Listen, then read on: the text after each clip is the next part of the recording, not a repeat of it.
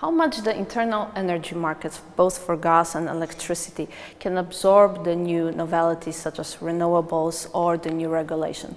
Do we need new target models or maybe we can set with the one that we have already?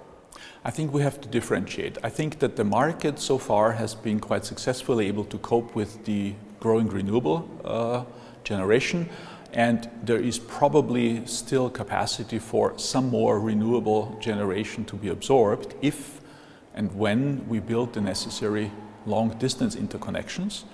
Uh, then we probably can go up to 15 20% of renewables without really massively disturbing the market. Uh, I think we will need to adjust the market models to a certain extent uh, and this is being discussed right now, which changes are necessary to make the markets better able to absorb these changes and new measures. Uh, where you are right is that the member states are sometimes uh, overloaded with the wealth of new regulation and systems and uh, legal requirements. And uh, we might have to give them a little bit more time to implement all that on a national level. But this is more an institutional weakness in member states that the large number of new rules take some time to be passed into national law, but then also to really put into practice.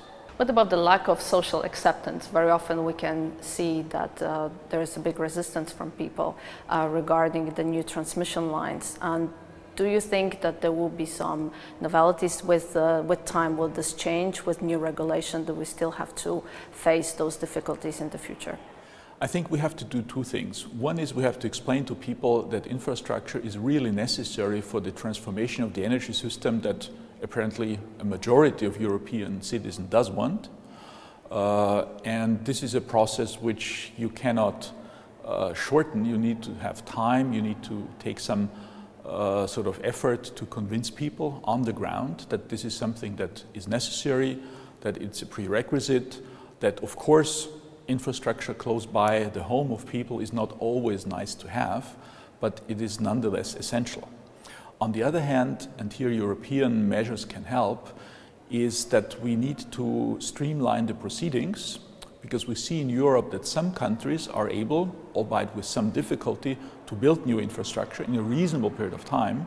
And then we have other countries and regions where it seems to be almost impossible. And this has more to do with uh, procedural difficulties.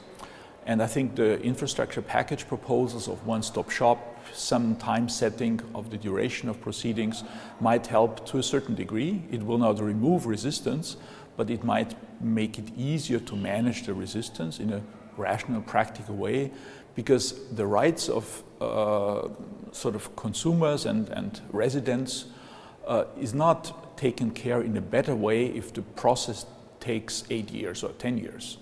Uh, you should be able to voice your concerns, but there also has to be a process whereby after a while, two, three years, there is a decision and this decision is upheld.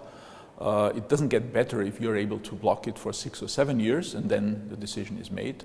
So I think streamlining is one part of it and a very good and comprehensive information and involvement of uh, everybody who is living close by to the infrastructure is another one and really explaining to the wider public the need is the third component and if we implement all that I think we should be able to build uh, most of the necessary infrastructure.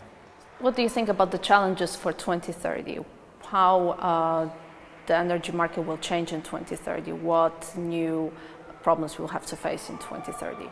I think the main challenge uh, is probably the integration or the level of integration we really need to absorb that much renewables. Uh, we are still very much on a national uh, market model and we're talking about connecting national markets, maybe better than in the past. But what we really need to do is integrate them in one.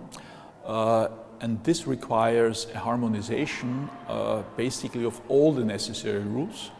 And this is a difficult process because we have over the last 45 years had different national rules. And basically almost all of those rules need to be rewritten. Uh, so this will be, I think, the big challenge. Uh, maybe the uh, unbundling, which is now starting to have the effect of cross-border mergers and acquisitions, will make it a little bit easier because if one company owns distribution and transmission systems in several countries, they will also find it much easier to harmonize than if these are different uh, companies. So this unbundling will indirectly, I think, also make it easier to push for the necessary changes and integration steps.